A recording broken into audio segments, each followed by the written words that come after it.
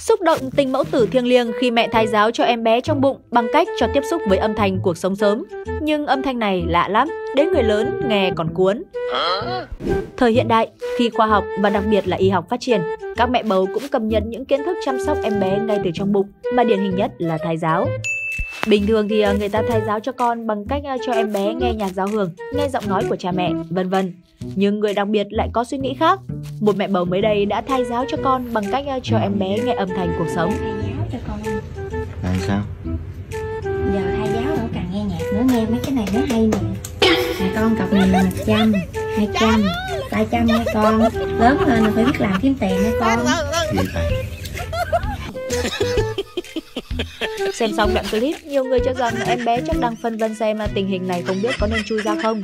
Ra thì cũng thích vì gia đình có nhiều công cụ bằng polymer để tạo ra âm thanh cuộc sống quá. Nhưng mà cũng áp lực ngang vì bà bồ bắt học đến tiền với kiếm tiền trước khi học nói. Một số khán giả thì à, bày tỏ rằng âm thanh này đến người lớn còn thích huống chi em bé. Đúng đúng.